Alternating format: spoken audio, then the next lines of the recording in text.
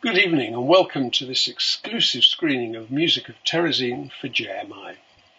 The Jewish Music Institute has organised this to mark Holocaust Memorial Day 2021 here in the UK.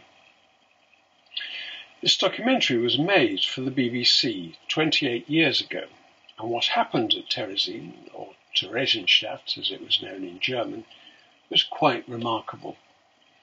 The Holocaust was certainly the background to this story, but it's not what it's about.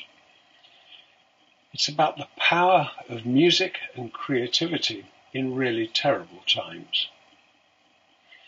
The composers who were working in Terezin are still not terribly well known and on the periphery of 20th century music history. They deserve much better than that, and that's one of the reasons I wanted to make the film. Most of the witnesses to life in Terezin, included in the film, are now no longer with us. But we do have one here in London, Zdenka Fantlova, now 98.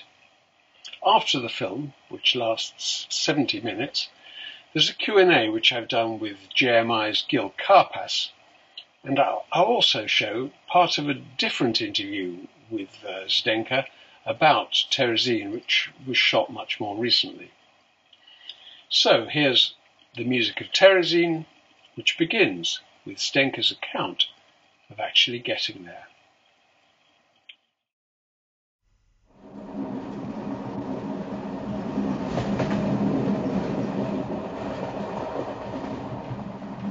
They started taking people in November 1941. Czech Jews from Bohemia and Moravia were transported to Terezin by train 1,000 people at a time. Our train came January 1942, and um, in a strange way, I was even looking forward to it. For three years in Nazi occupied Czechoslovakia, it got more and more difficult for Jews. People lost their jobs, their businesses. We couldn't go to the cinema, there was a curfew, so I couldn't wait to, to get there to join my friends.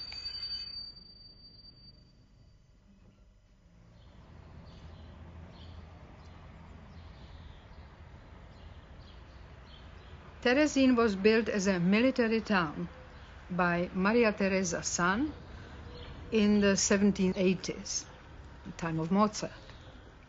And here we came to this strange place which lost its character so completely. It was built for 5,000 people, and at the height of the time, it was 60,000 people living there, like a human beehive. We arrived with our bags and suitcases. We were only allowed to take a limited amount, and uh, we came to this strange world. The composer Viktor Ullmann wrote here an opera called The Emperor of Atlantis about this sort of lost world with its lost people that existed here for four years.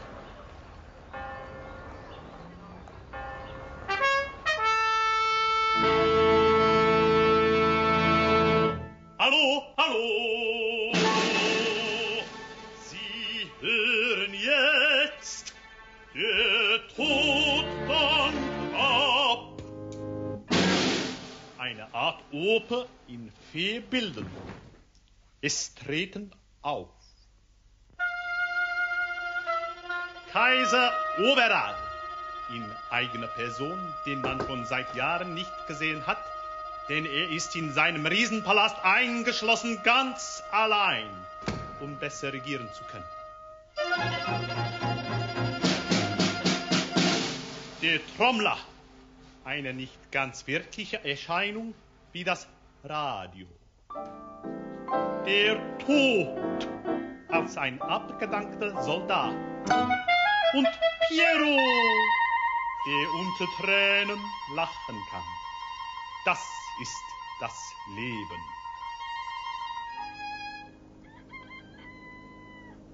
The town of Terezin, with its fortress walls, is some 40 miles north of Prague and still a garrison town for the Czech army.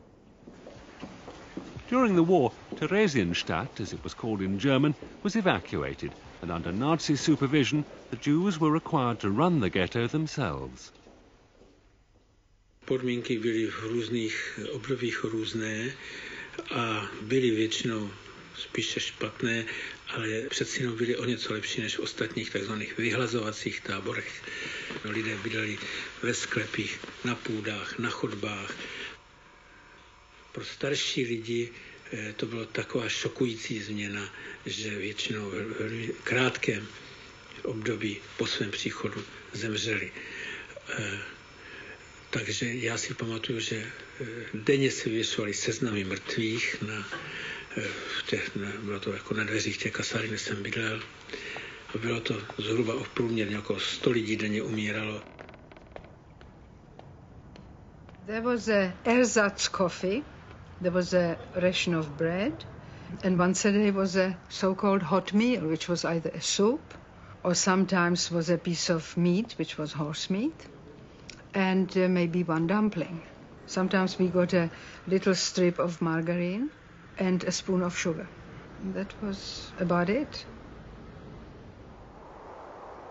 Terezin was administered by the Council of Jewish Elders. It was extremely well organized. There were departments for building, education, health, childcare, and the arts. And there was enormous number of professional artists concentrated in that small place. Musicians, singers, conductors, composers, actors, directors, even from the National Theatre of Prague, designers, writers. And so the cultural life actually developed quite spontaneously.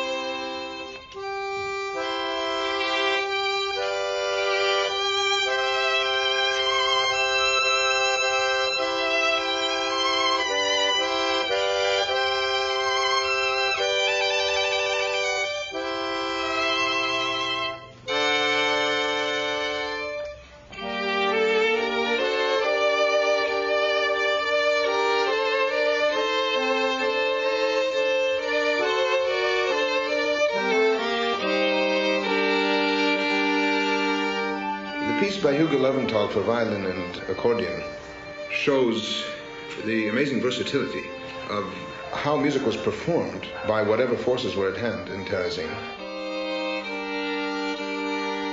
This same combination of instruments was used to perform, amazingly enough, Beethoven's Kreutzer Sonata, which is violin piano. In this case, it was violin and accordion.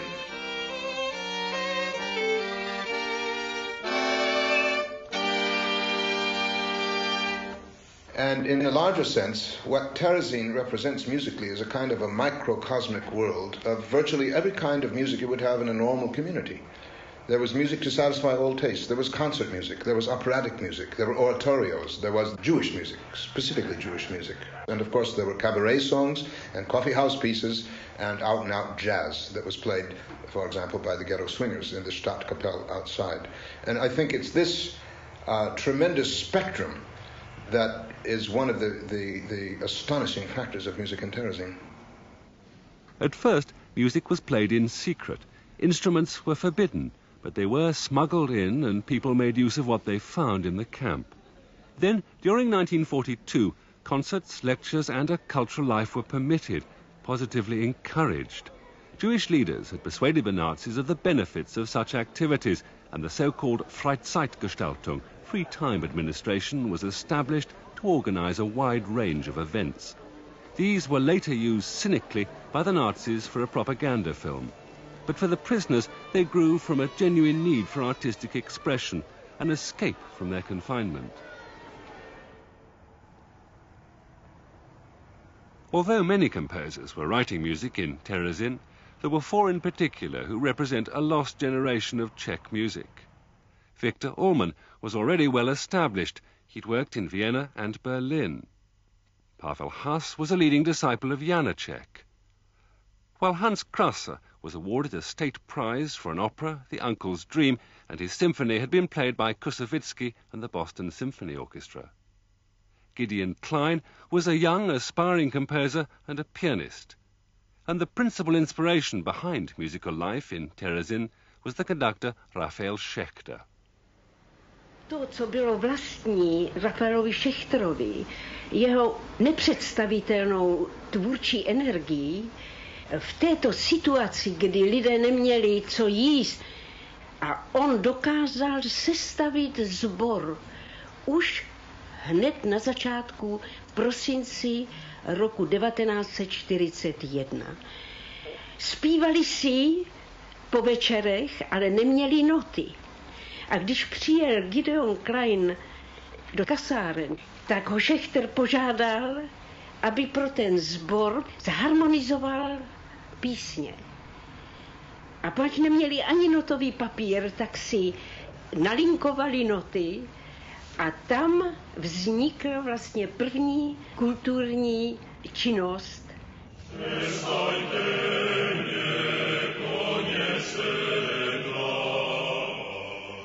Israel.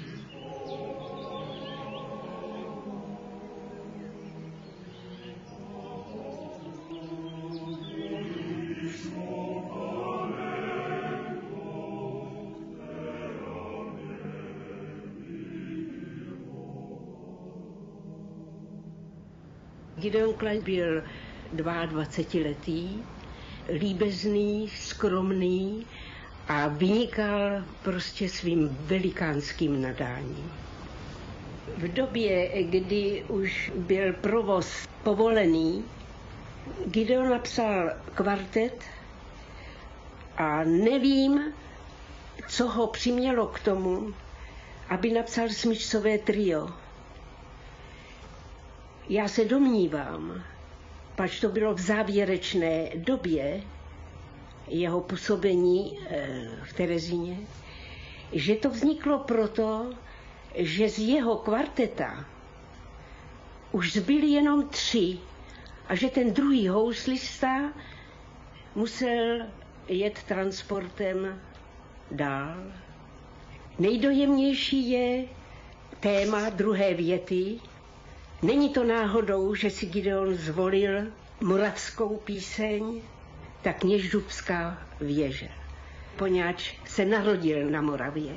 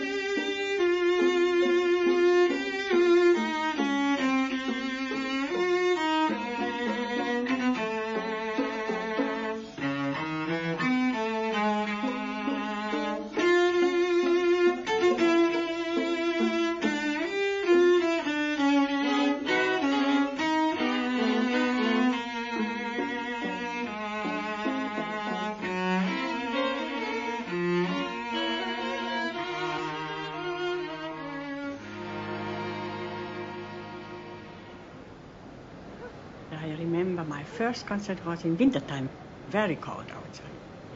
So I was playing in my coat and my high boots, and uh, I don't remember whether I had my uh, something on my head, but I played. The audience was extremely musical. Old concert goers from Paris and Prague and Vienna and Berlin, and they knew the music, and even when they were ill, they came to this concert, and it was a remedy for us and for them. We were actually relatively free within the enclosure, freer than we would be outside, where a lot of things were forbidden and uh, Jewish composers were not allowed to be played. But within the enclosure, we had very little censorship. But of course, there were transports constantly being assembled, going to the east. We didn't know what it meant. We were quite ignorant of what was in store for us. Only the Germans knew, and they knew that we were sentenced to death. So they get us, let us get on with it, and what we really were doing, we were just dancing under the gallows.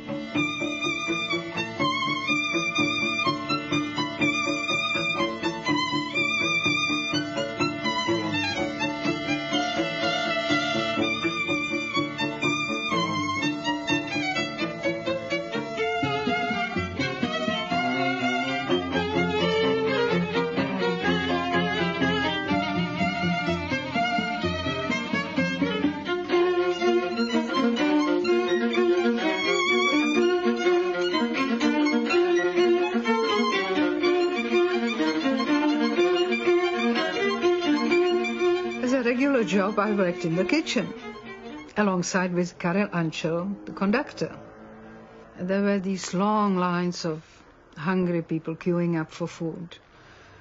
And the old ones would come and say, please, miss, from the bottom, hoping to get a piece of potato or something floating in the one ladle of soup, which was the ration, and of course we did our best.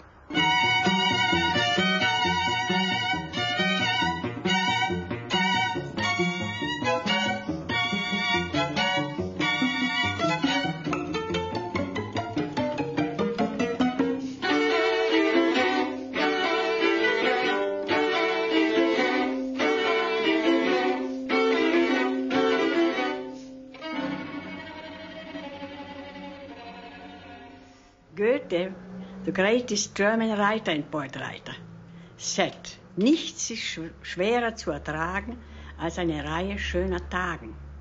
It means it's difficult to go through a period of beautiful days. He wants to say people need tension.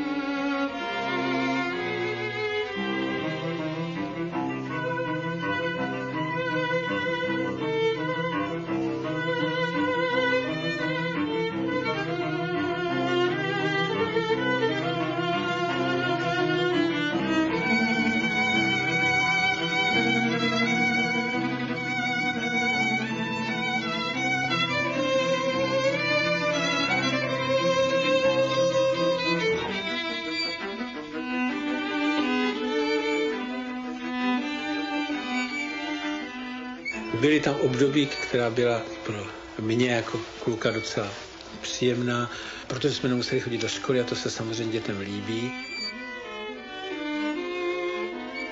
Pamatuju si, to jsme dělali s velkou vášní, tam byly takové veliké, veliké myši, potkani to byly a nějak složili nějaké cihly na tom nádvoří malém a tak jsme se domluvili a vynesli jsme cihly nahoru a když se tam již objevila, zdála se, že se blíží pod, pod, pod ten arkýř, tak jsme dostali tam a pustili jsme cihlu dolů, že by to tu myš mohla zabít. Nikdy jsme žádnou myš nezabili, pochopitelně, ale byl to lov, takže to se nám líbilo.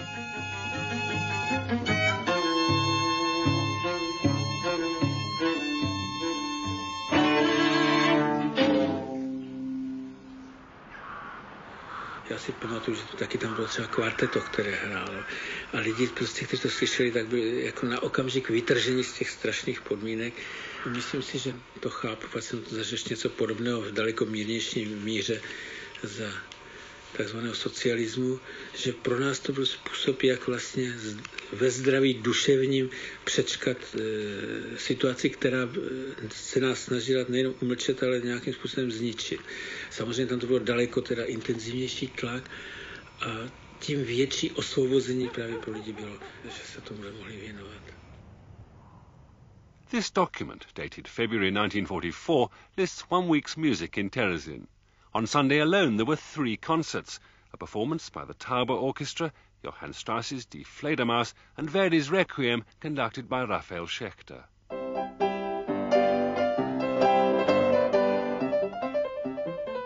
But one of the most celebrated productions, also led by Schechter, was of Smetana's opera The Bartered Bride.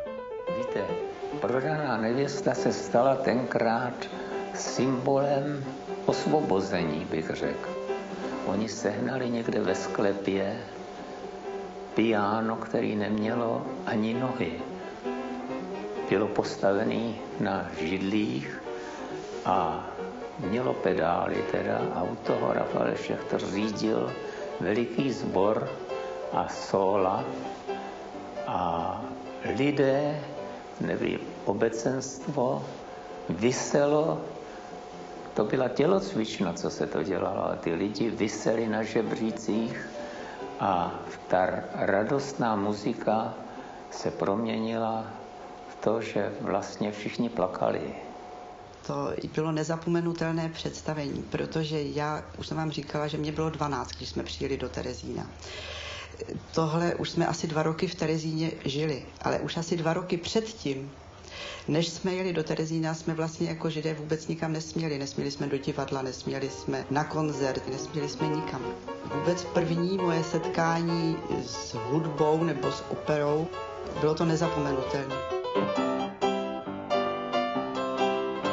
Protože od té doby jsem už tu operu samozřejmě viděla pak mnohokrát a viděla jsem ji v Národním divadle a viděla jsem koncertní sály, ale ten dojem to nikdy nepřekonal.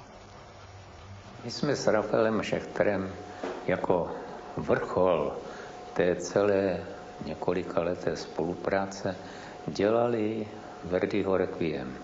Verdiho Requiem je oříšek i pro profesionály a natož pak pro sbor z amatérů. Ten spor to dokonale zpíval.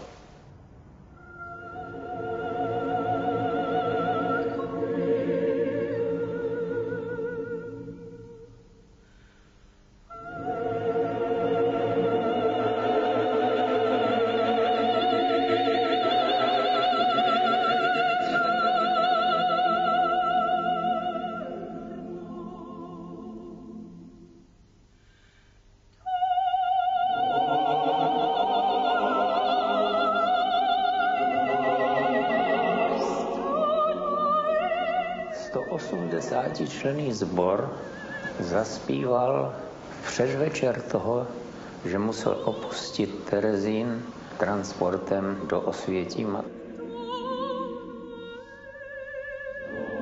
Já tu sedím, poněvadž jsem měl štěstí. Jinak všichni, většina zahynula.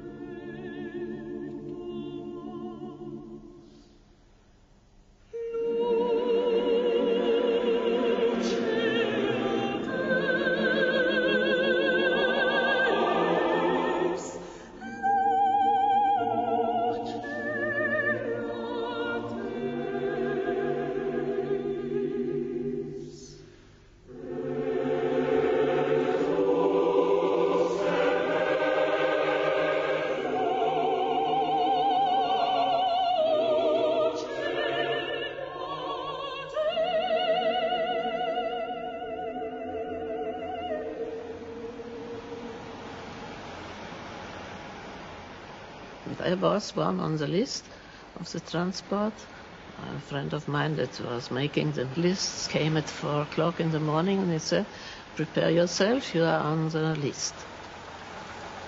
So uh, I went to the manager and I asked him whether he can do something for me. But he said he, he cannot do anything because there is another pianist who has a little boy. And of course, if he helps somebody, so it would be she.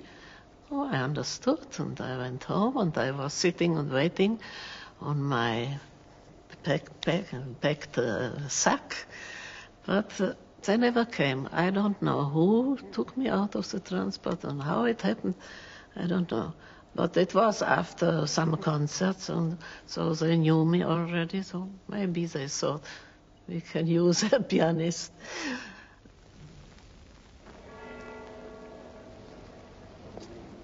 Long before the Nazis and their racial policies, Czechoslovakia had been home to a Jewish population for a thousand years. Prague was a cosmopolitan city, embracing three distinct cultures, Czech, German and Jewish. Ironically, the Jews had lent towards German culture and the German language. Přímo v Praze myslím, že těch religiozních židů byla menšina a bylo tady velmi silné asimilační hnutí a pro mnohé lidi to bylo prostě ohromující, že najednou, ačkoliv se teda vlastně nežili nějak jaksi židovským životem, byli zahrnuty do té židovské komunity. Moje maminka se považovala za, jaksi za naprostou Češku, nikdy to teda nepřijala, ona jaksi pocházela po předcích z protestantské rodiny a nikdy to jako nechtěla přijmout, že, že židovka sama byla teda bez vyznání. V Terezíně ne, si pamatuju, že jsem tam viděl prvně ty tabernákly a viděl jsem rabína tak. Čili pro mě to bylo třeba seznámení se židovstvím. Já jsem předtím neměl o tom vůbec ponětí. Services were held in improvised synagogues in attics and cellars, as were Catholic and Protestant services for assimilated Jews. Remarkably, one of these synagogues has survived in a courtyard surrounded by living quarters. Used as a storeroom now, its original painted decoration is still intact. Thank you.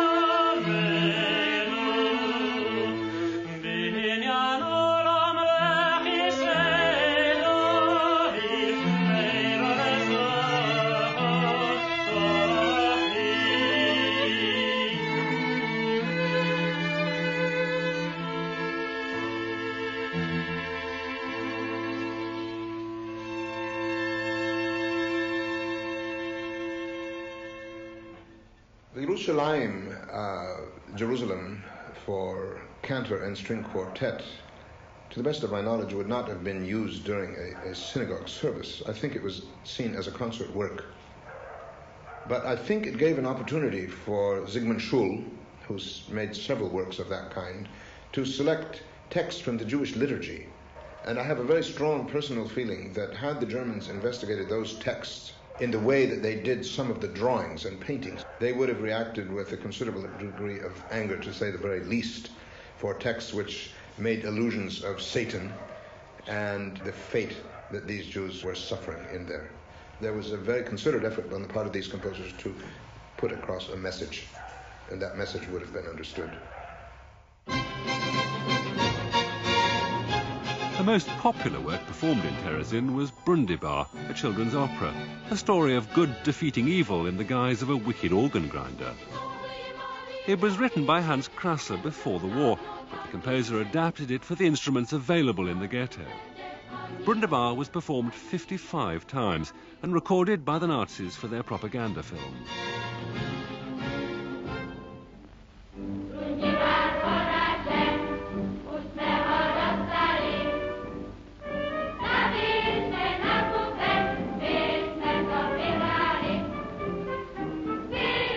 My son, six years old, was singing the role of Sparrow and uh, Hans Krása was simultaneously conducting and playing the piano.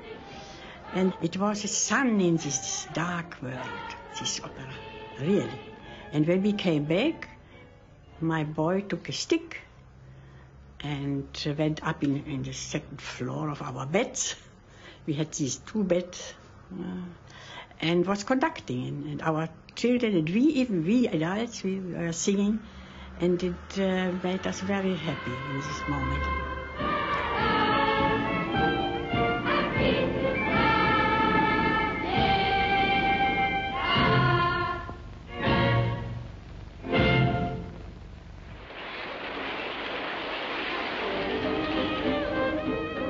This Nazi film, shot in the summer of 1944, was a cynical reply to insistent questions about the fate of European Jewry within the Third Reich.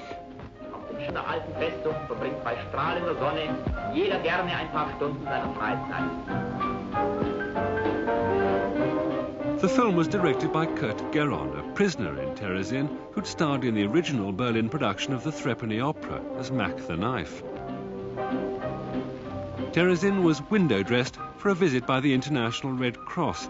The solution to overcrowding was extra transports to Auschwitz. Ten den, kdy Červený kříž přijel, tak se speciálně vařilo, zvláště pro děti. Já si dodnes pamatuju, že jsme měli nějakou dobrou polévku, telecí maso a dokonce takový kousek čokoládového zákusku. Takže to dodnes pamatuju ten oběd. Je to jeden z mála obědů, které si pamatuju v životě. In the Magdeburg barracks, the artist Fritter ran the technical drawing office. Its official task was to produce documents and propaganda illustrating the achievements of the Third Reich.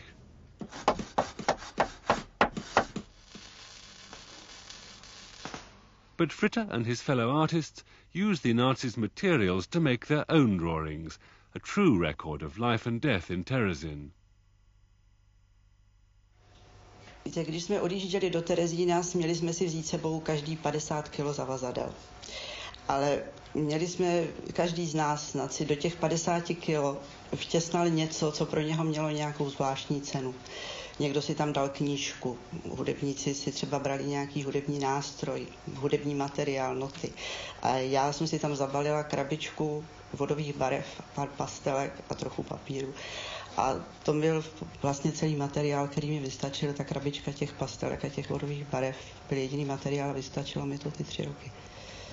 Mně bylo 12 let, byl prosinec, venku byl sníh a já jsem namalovala svoji první dětskou kresbu. Byly to dvě děti, jak stavějí sněhuláka. A tuhle kresbičku jsem poslala tatínkovi tajně, protože my jsme bydleli odděleně muži v jiných kasárnách, ženy taky jinde. Tak jsem tatínkovi poslala tuhle kresbu, ty děti, jak stavějí sněhuláka. A tatínek mi na to odpověděl, maluj, co vidíš. Tatínek také napsal báseň, kterou věnoval vlastně Karlu Ledečovi. To byl hudebník, člen České filharmonie, který se také dostal do geta. Za všechny prosím, drahý příteli, musíš nám hrát, nás choré uzdravovat, dožít se chvíle chcem, jen přijdeli a nechci nezhynout, jak stádo božích hovat.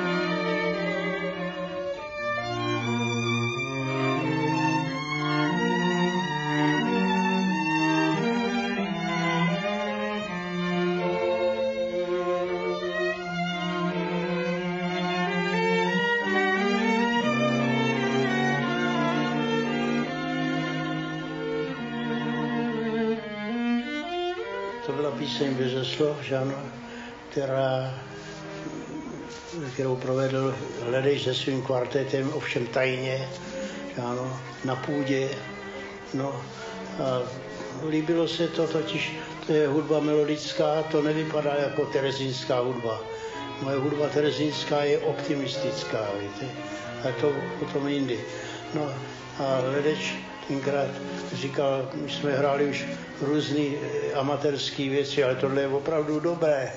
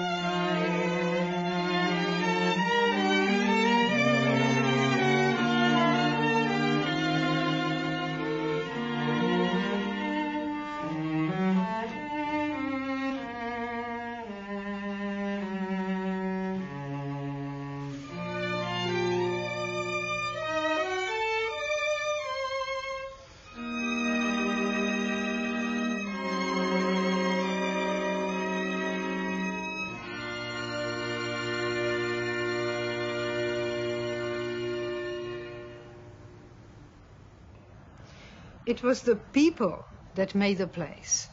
It was humming. People were full of optimism because that kind of situation where the people were together, creating together, was unique. It was not hysterical, it was quite a normal procedure because we were not really burdened by daily business. We didn't have to go shopping, we didn't pay rent, we didn't pay tax, we didn't uh, cook, we nothing. And so we had the time to create and to lift the mind to higher spheres. Jeden z význačných českých skladatelů byl Pavel Haas. My jsme se celkem dobře znali a tak jsem ho prosil, tak dlouho, aby mi napsal nějaký písně na toho koncertu, až on mě jednou po dost dlouhým zdrání řekl, že teda už se do toho dal a že bude skládat čtyři písně eh, na slova čínské poezie eh, v překladu Matéziově. Eh, ty písně jsou ohromný, poněvadž eh, jsou psaný na vlastně čtyřech hlavních tónech, které dohromady dávají eh, u nás eh, vlastně lido, zlidovělý chorál svatováclavský a tam je motiv ho, ro, ro, ro. Je to z toho svatý Václave. Jo? A na tomhle těch čtyřech tónech je postavený cyklus čtyř písní, které začínají tím, že vzpomíná na svůj domov, na svou rodinu,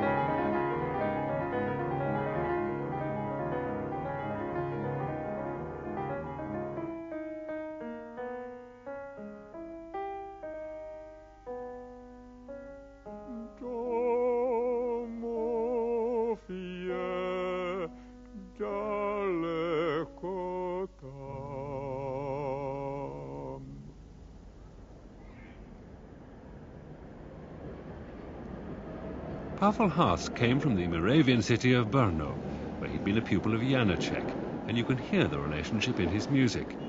Haas had composed some 20 pieces before the war songs, three string quartets, and an opera. In Terezin, he wrote a choral piece, the settings of Chinese poetry, and the study for string orchestra, premiered in the ghetto by the conductor Karel Ančerl.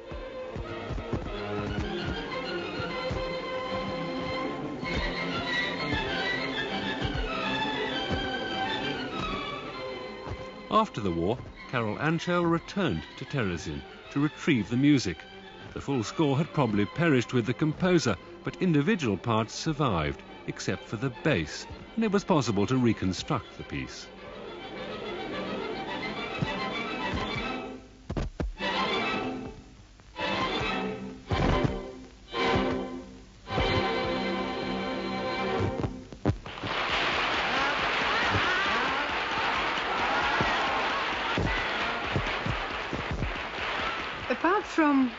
Of classical music, there was the cabaret, which was very, very popular, written on the spot.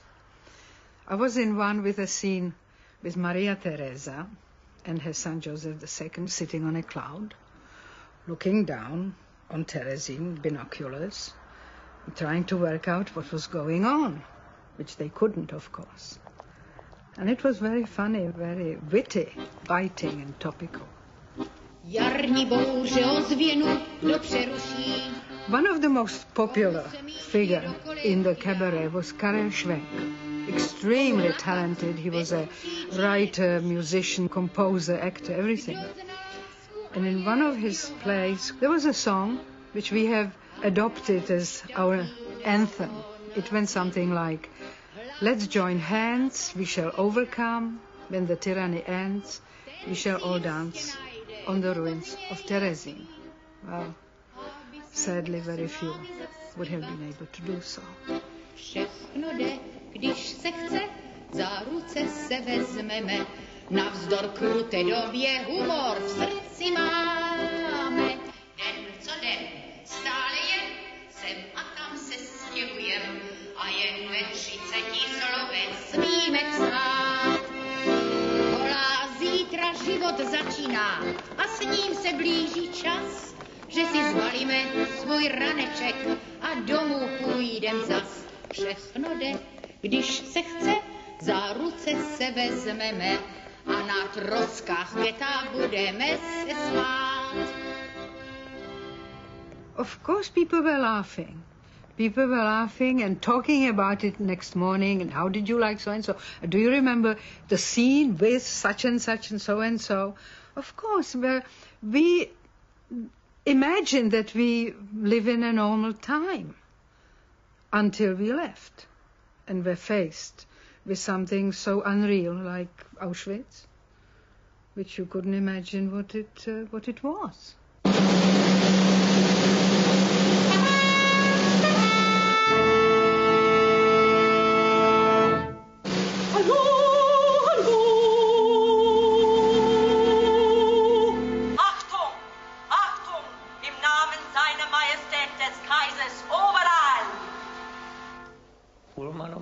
Opeře Kaiser von Atlantis zazní dole parafráze na německou hymnu. Ovšem ta je tak skrytá, ta německá hymna, že si to divák vlastně uvědomí jenom, když je veliký muzikant a vyzná se v notách. Wir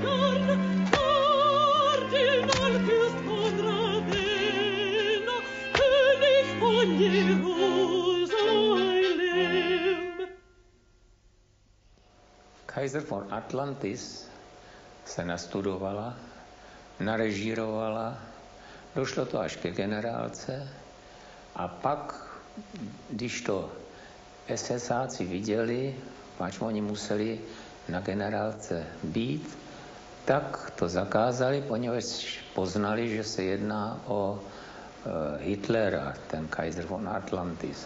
Je to vlastně zánik toho císaře neboli Hitlera, který podá se té smrti, která si ho pak veme.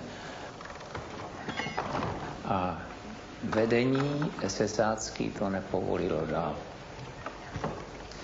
To, co držím v ruce, je part, na kterém stojí Viktor Ullmann, Kaiser von Atlantis oder die Todverweigerung, der Tod, pomlka, Karel Berman. Tohle jsem si tenkrát sám popisoval z partitury a dodneska se to zachovalo z Terezína. Je to poprvé, co to ukazuju lidem. Ich bin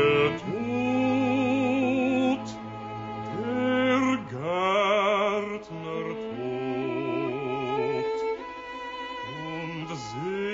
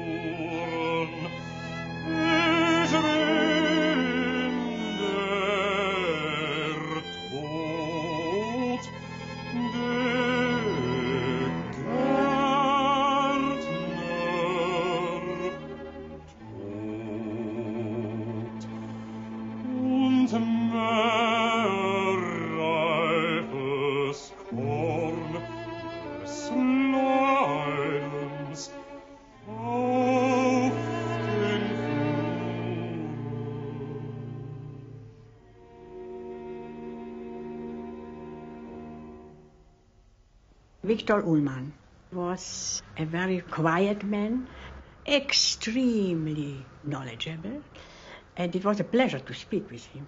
He was very polite. I, I remember when he came and uh, was introduced to, to a lady, he kissed her hand.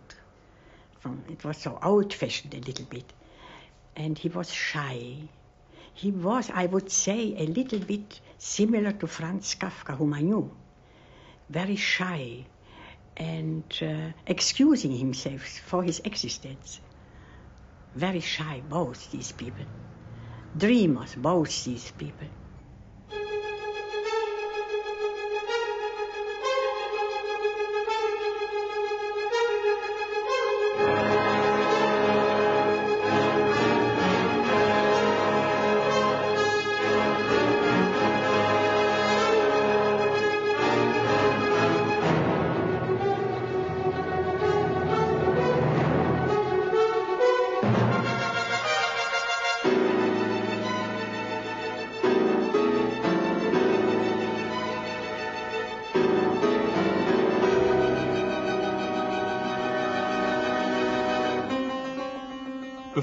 War, Viktor Ullmann had studied with Schoenberg in Vienna and assisted Zemlinsky as conductor at what was then the German Opera in Prague.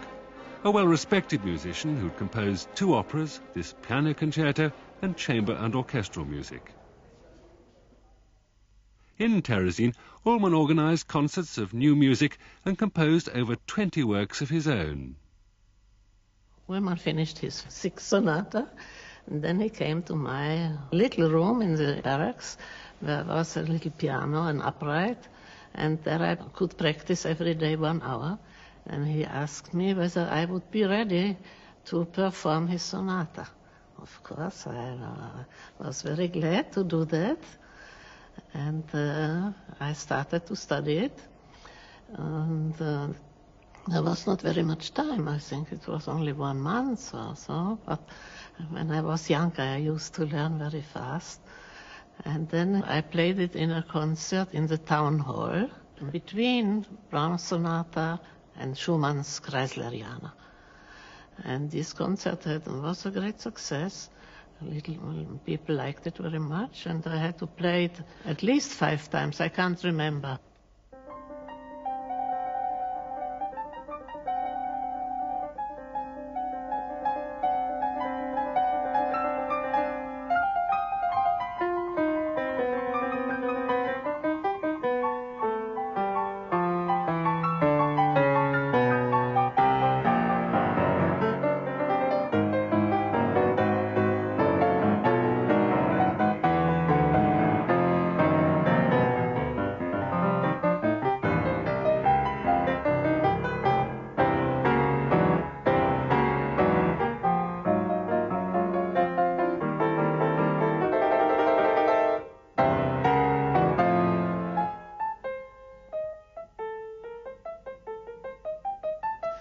People think it's surprising that somebody could make music or write music in uh, Theresienstadt, but uh, Ullmann said that Terezin did not uh, impede him in writing music.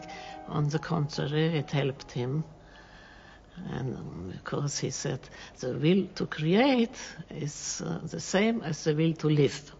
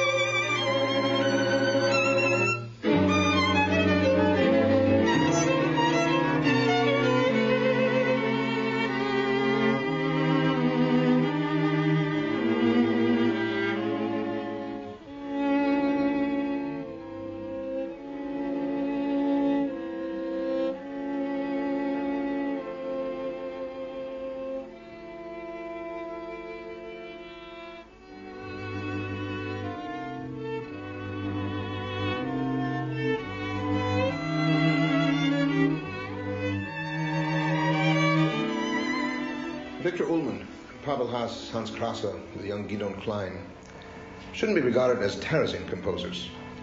These are men who had uh, created a mature musical style quite a long time before the war, except in the case of Klein, who was so young.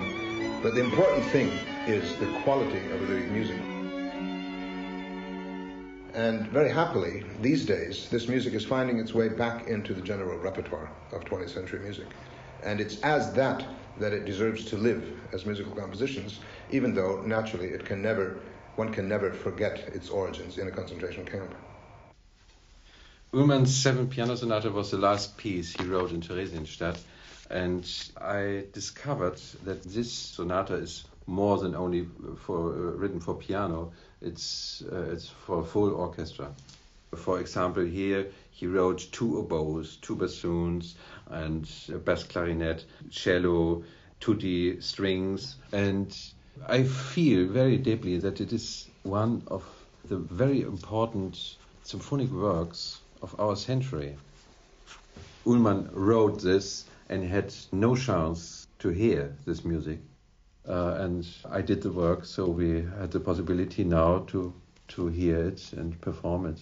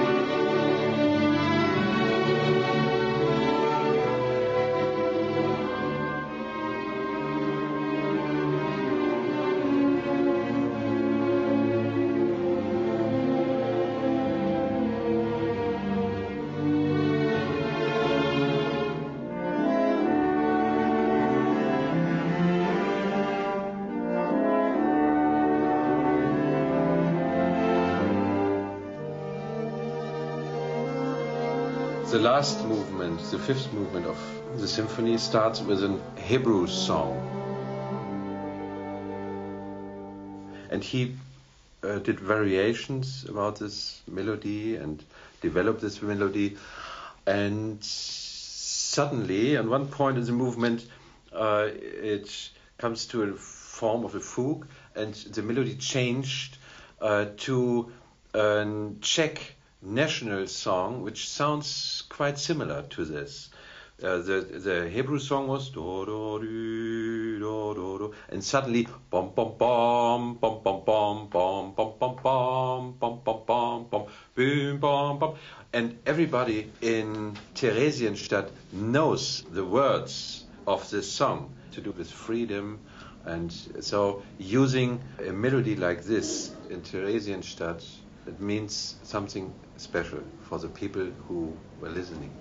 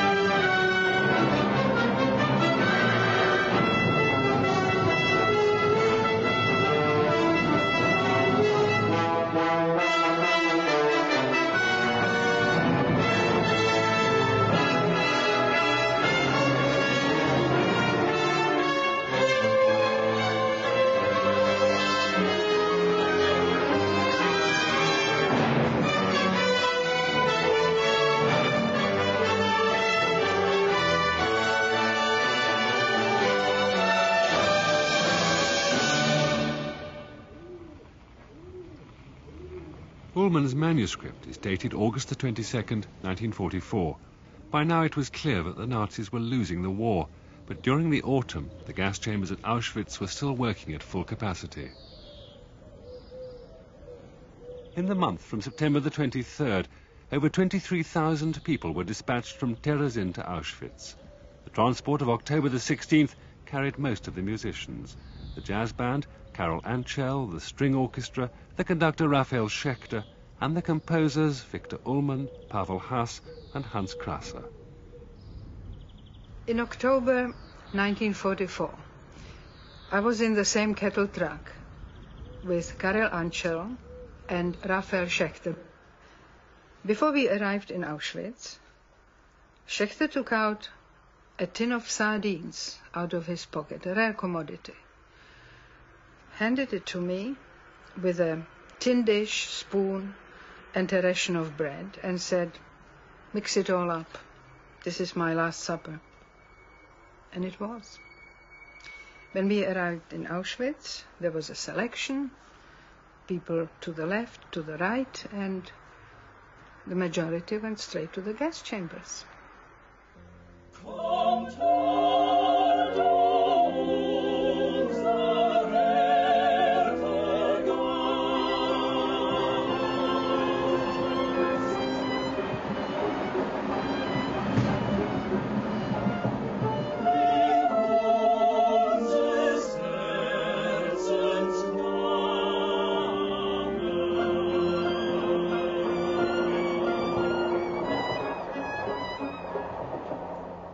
In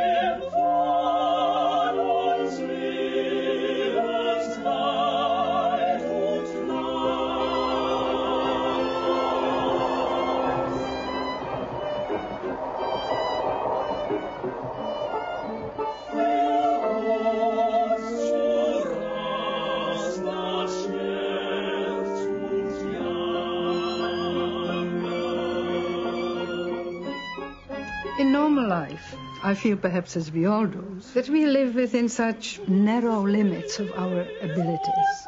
Something I would call five finger exercise on a large keyboard. But with experiences like Terezin and what came after, when one was pushed by the circumstances across the whole keyboard right to the brink, then you look into the abyss.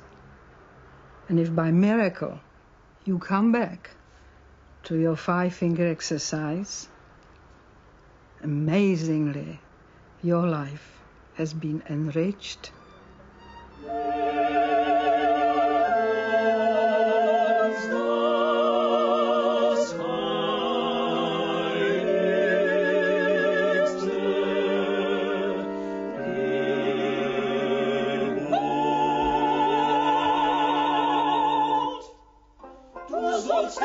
großem Namen tut, nicht eitel beschwört.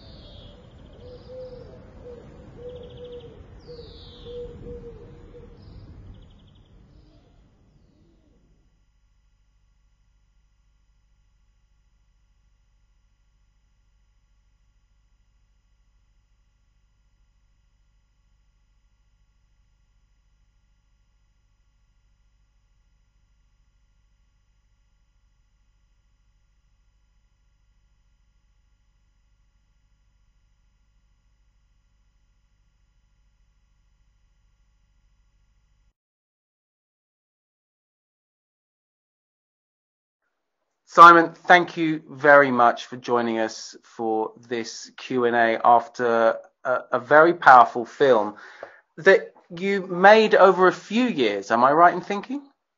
Well, it took about 18 months, I guess. So it wasn't such a long time, but you know, I, I'd already been to Terezin before making the film. I made, I'd actually made a radio program about five years before and, and that was when I really first got interested. But having moved from radio to television, they were interested in having a, a much deeper look really at the, at the music and um, you know I was very ready to go back because I could see there was so much to explore. So of course I went on a recce trip.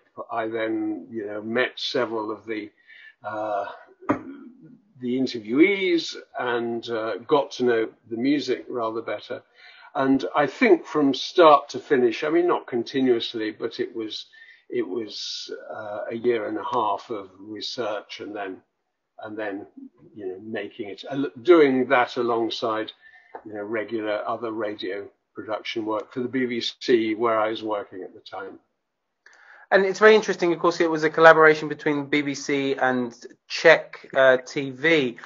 Um, they seem to have really given quite a lot of um, resources. I mean, correct me if I'm wrong, but uh, and, assistance, local knowledge. Um, very interesting that so much involvement, especially coming because it was in the in the honeymoon years after, uh, I suppose, the Velvet uh, Revolution.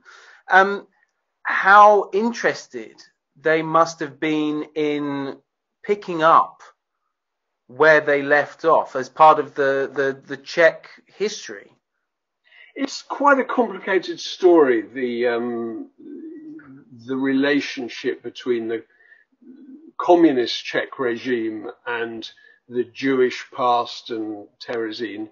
Um, when I when I went to make the radio program, it was still socialist Czechoslovakia, and I went to Terezin to make this program, and there was you know absolutely no problem in talking about the whole history of it as a Jewish ghetto and so on. But I I went to a concert organized at the Terezin Memorial which was totally a sort of anti-fascist thing uh, uh, about, you know, victory over the Nazis and really very little about the Jewish ghetto.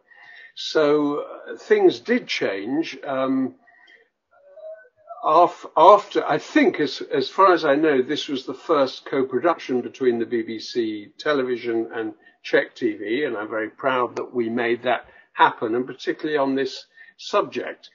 Um, certainly, when when I was there doing the radio program, there was no interference, or, or you know, nobody was trying to make me say uh, anything party line. We had total freedom to say what we want, and uh, and and. Uh, although it was a small start, it was an important thing to do.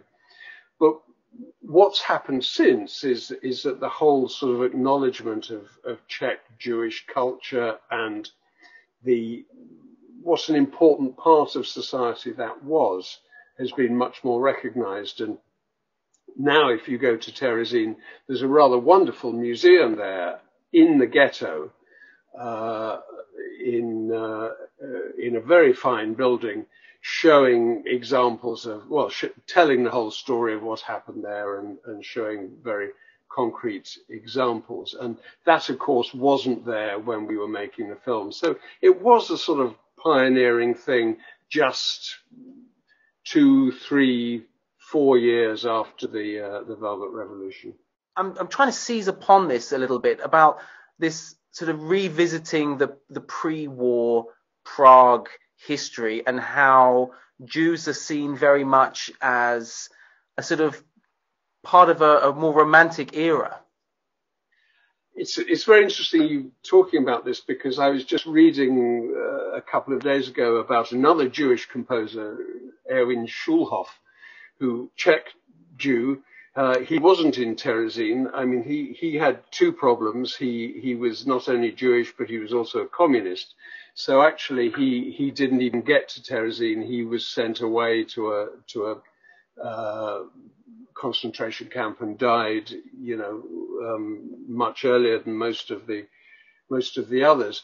But what he was writing about was in Prague, this real dual character between people who were the, who would go to the National Theatre, which was Czech, and and you know read the Czech newspapers, and then there was this whole other culture which read the German papers, went to the German opera theatre, uh, and you know people were in one camp or the other, and the Jewish people on the whole were the German-speaking culture, and and that's why, in a way, it seems such a betrayal what happened with the uh, with the Nazi occupation, and you know this, as as Ivan Klima says in the film, you know he'd never been to a synagogue before going to Terezin. He'd never been aware of of the whole religious culture, so it, it, it was it was a sort of aberration. I think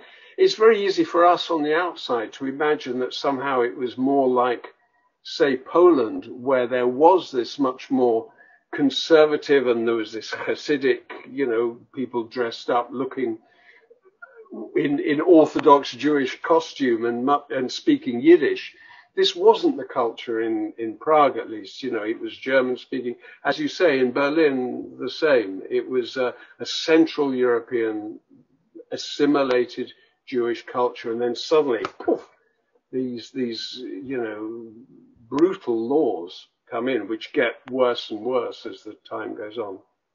And so, what, what we find in, in in that is this sort of rich cultural life that's that that was part of um, pre-war Czechoslovakia.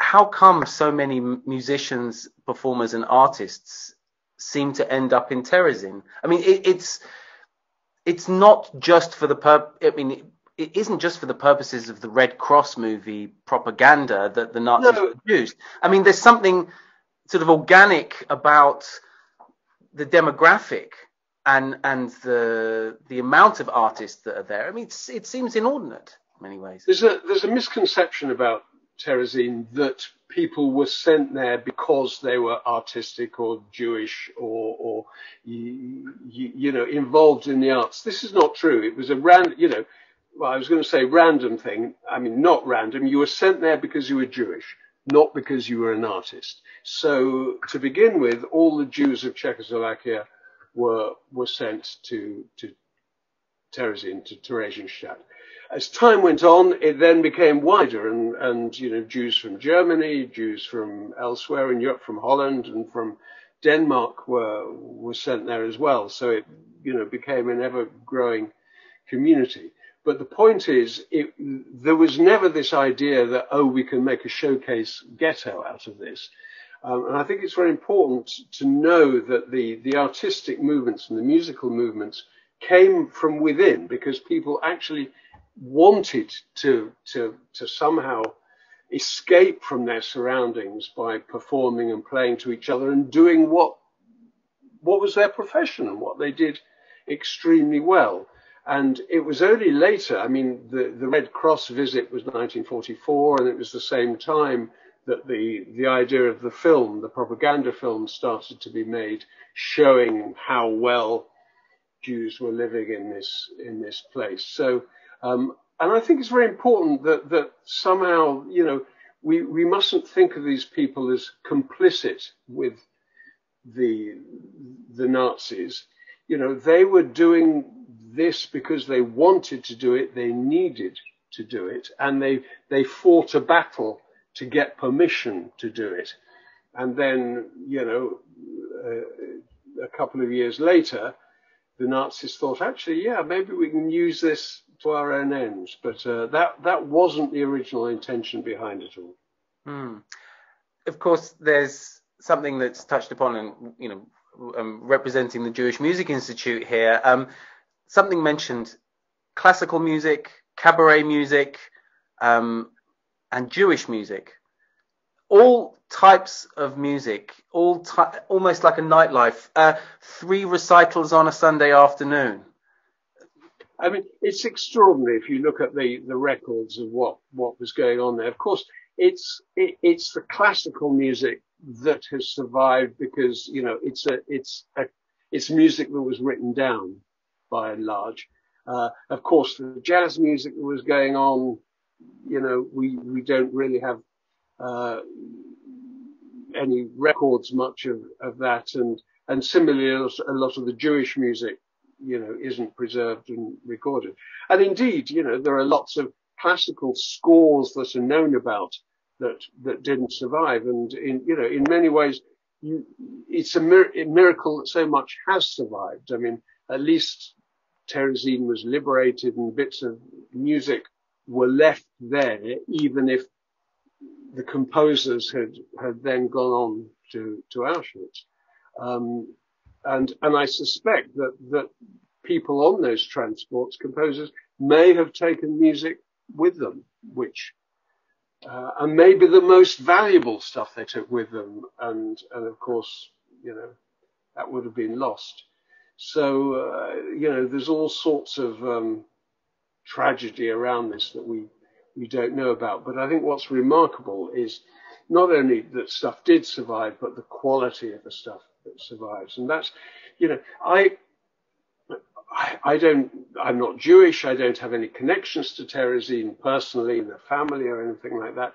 It was simply seeing the quality of what was produced there and it, it can just stand alongside that of so many other composers like Benjamin Britten to take an example here or Martinu in, in Czech Republic. You know, they're, they're composers who are much better known, but, um, you know, of no less quality than these amazing people or or of the same era as well. You mentioned Britten, of course. So, you know, there is Britten, really the same sort of age as Gideon Klein. Yeah. Was there any idea what would happen to them? Uh, from people I've talked to, very very little. Um, you know, there are arguments about how much was known and how much was not known. In a way, I, you know, we, I don't think we can surmise about that. But what, what I do find interesting is in a way there's two sorts of pieces that were composed in Terezin. There were pieces that were a reaction to it. And I think the, the Emperor of Atlantis, the opera, the Kaiser of Atlantis is something that is clearly a response to the circumstances there. And it's a, a brilliant, uh, slightly cynical, but but brilliantly perceived piece. And you know, I've seen several performances of it, and it's still a powerful work. Uh, so there's pieces like that, but then there's other pieces like um, again Ullmann, the second string quartet, which is it's a piece of beautiful abstract music, and that's true probably of, of most of the music actually composed in, in Terezin. So it's not about the circumstances. These people were just going on doing what they were doing, probably because they thought that in a year or two they'd get out and life would go on. It's really frustrating that um, uh, Gideon Klein was offered a place at the Royal Academy of Music in London and couldn't come here because of the travel restrictions at the time. You know, had he got out a few months earlier, he he he may well have been here, and you know we might well think of him as a British composer alongside Benjamin Britten. Um, you know, these are uh, stories that, of course, never never worked out. Yes, that's that's that's true. Uh, like uh, Peter Gellhorn, other. Uh, Who was my music teacher for a while, actually. Oh right, I didn't know that. I didn't Wonderful. know. Fantastic. So, I mean, you know, this this film has been also about putting these forgotten composers on the map in some way. I mean, we all know about the work of Michael Haas uh, and his Entartete Musik series when he was at Decca, uh, and of course the fabulous work that the Exilarte Center in Vienna does.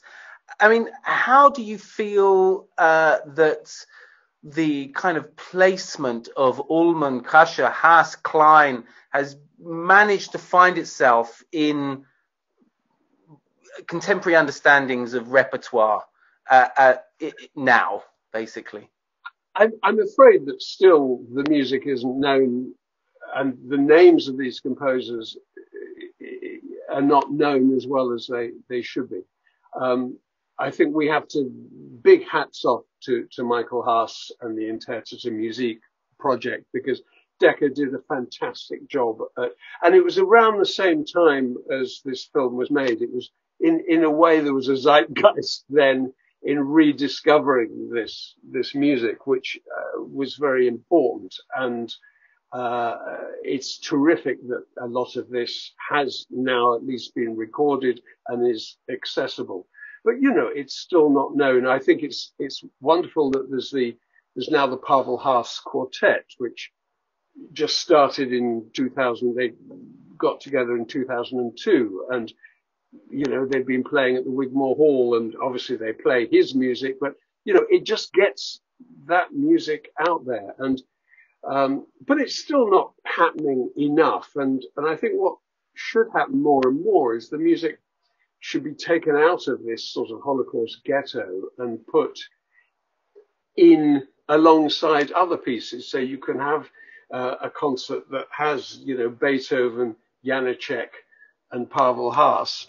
Nothing to do with the Holocaust, but, you know, here, here are three chamber works by fantastic composers.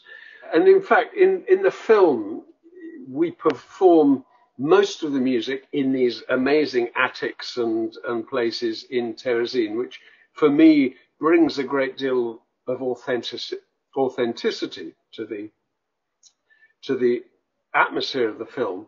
But when we get to the Ullmann Quartet, we do it in a in a concert hall, and it's in a totally abstract environment. And the idea is saying that this music actually doesn't belong in an attic or in a ghetto it belongs on the concert platform. And, and that ultimately is, is really what I think I was trying to do with, with making this thing, apart from, you know, explaining the extraordinary story behind how this music got composed and who these personalities were who, who did it. Yes, it's it's this uh, idea of uh, music restitution about putting the music back in front of its natural audiences, um, which is which is very powerful um, an idea. I w- also want to talk about I suppose I don't know whether protagonist is the right word, but someone who's a, a continuing narrator throughout um, the film, and that of course is Zdenka Fantlova. We had the privilege of uh, having her sit on our panel when we were at King's Place, uh, when we pr- uh, premiered, I think. It was the first sort of embryonic premiere of our commission with Jocelyn Pook based on the drawings and poems I Never Saw Another Butterfly called Drawing Life. And that was in 2014.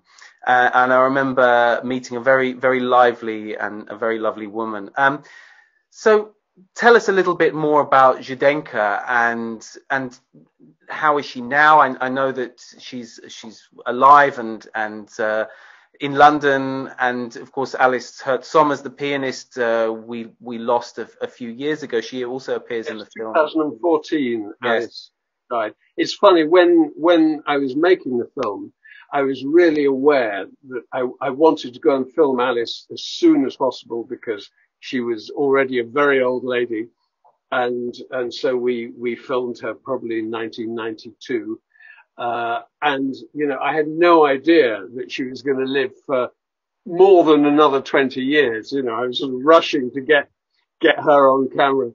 Um, now Zdenka is indeed still with us. And as, as soon as I met Zdenka, I, I realized that really she should be the key narrator through this. And she, you know, she's, she tells good stories and, and she, she just gets down to the nitty gritty of everyday life and what happened there, as well as, of course, being involved in the cabaret and the, the plays and, and things. So you know what a what a fine witness she is, and she she then went on to write this book, The Tin Ring, published just a few de- a few years after the um, the documentary, and you know she's gone to schools, she's gone to Czech Republic, she's gone to Germany to talk about it. She's been a great um, raconteur about you know what what happened. And of course her story isn't just Terezín she then went to Auschwitz. She was through through five or six concentration camps ending up in Bergen-Belsen uh, and in fact she was one of the interviewees in a film I just did last year for the um, 75th anniversary of the liberation of Belsen so um, she was also included in that and uh, no, I mean she's she she she's a fantastically lively speaker. Um, I'd say the whole lockdown thing hasn't served Zdenka very well. I used to go every week just about to see her. She became a great friend through doing this film, you know, which has been a great privilege for me, sort of getting to know her and getting to know so many aspects of her life. You know, she hasn't really left home since January, and that's no no good way to live. Um, but what I did want to do to do was show a, a, a clip of an interview I did with her, uh, 2019, so not too long ago, and it's about Terezín. It's it's talking about um, uh, Karel Ančerl, the conductor who she worked with in the kitchen, and also about her boyfriend at the time, uh, Arno. So uh, a couple of a couple of thoughts here from Zdenka in 2019. Next to me on the right hand side was Karel Ančerl, who became a conductor of the Czech Philharmonic after the war because he survived. And so while we are mixing, we were talking about Dvořák and, and uh, uh, whoever, you know. Uh, that, that, that, that, that was wonderful. That kind of that kind of people that I would never had a chance, A, to know or to meet or even work with them. So for me, Terezín was an eye-opener and uh, um, wonderful opportunity to meet fantastic people. You did manage to meet up with Arno in Terezín. You were living in separate places. How did you meet and what happened? You know, when, when you are young and uh, in love, you're blind. You don't see any danger at all. All you want is, hmm, that. And so it happened because he whistled always, even in my town when he came around, a bar from the Dvořák's Ninth Symphony. Ta ta ti ta ta da da ta. And suddenly I hear that, on the courtyard and I look and there are about 12 young men with a cart full of potatoes because there were no horses and they had to pull it. So zoom, ran down and all we wanted is how can we get together? You know, eyes met and, and this bewilderment. And at the same time, they established a group of women to peel the potatoes. But we managed that he ran away from the cart. There was a door to a cellar, and I ran away from the window, from, from the women, into the cellar. And uh, it was a long, long corridor and iron doors. So we tried the one, closed, closed, closed, and the first one was open. rushed in, closed the door, and of course everything. You name it, yes that was the moment. I think I think the important thing to remember, and Zdenka says, you know, they thought they would go back to normal life, and I think you know the danger. I mean, retrospect, you, you know, is is very useful, but uh, you know we now know what's happened. But it's also dangerous because you know it means that we just think ponderous, dark uh, gloomy thoughts about everything that happened in a place like that. And of course, Zdenka was a young woman and was living day by day in this environment, which clearly she was enjoying, meeting all these people she would never normally have met in her much more humdrum life in in in uh, in Bohemia, you know, in in the provinces. So uh, so she she also sees what happened in Terezin as a sort of gift, bizarrely. Uh, um, so I think I think Zdenka in a way is a lesson in in the way to to cope with adversity, and I think my fascination with Terezin is that there are few times in history where music and creativity have such an important place. And here people were doing it not for profits, not for you, you know career aspirations. They were doing it to survive, and it shows that there's a nourishment that comes out of not only music but art and creativity in general that is important for us all. And uh, um, I think that's something that there are very few times in life when that's been made as clear as in the years, the few years when these composers, these musicians, these creative people were working in Terezin. Simon, thank you very much for doing this Q&A. I think uh, it is a powerful film. It's it stands as a, as a legacy to both art and culture and Jewish life, and we thank you very much for making it.